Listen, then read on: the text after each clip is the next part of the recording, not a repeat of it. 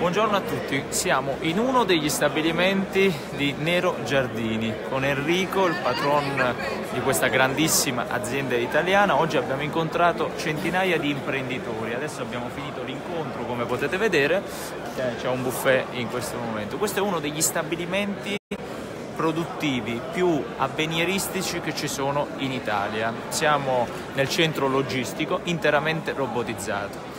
Enrico e Nero Giardini con tutta la sua famiglia producono valore in questo paese, mi ha aperto le porte della sua azienda, mi ha fatto incontrare tanti suoi colleghi dell'indotto, tante persone che lavorano insieme a lui, tanti imprenditori, tante imprese che danno lavoro. Nelle stesse ore in cui noi qui stavamo parlando di abolire gli studi di settore, di abolire lo split payment, lo spesometro, il redditometro, di fare investimenti per abbassare il costo del lavoro, Silvio Berlusconi diceva che gli imprenditori italiani odiano il Movimento 5 Stelle. A me non sembra tentato troppo dal fare questa diretta perché la smentita arriva in diretta a Silvio Berlusconi da centinaia di imprenditori che sono qui alla Nero Giardini ad ascoltare il programma del Movimento. Come ce n'erano centinaia a Firenze l'altra sera, avete visto, abbiamo pubblicato anche un articolo e ce ne saranno decine candidate nei collegi uninominali per il Movimento 5 Stelle. Ciao a tutti.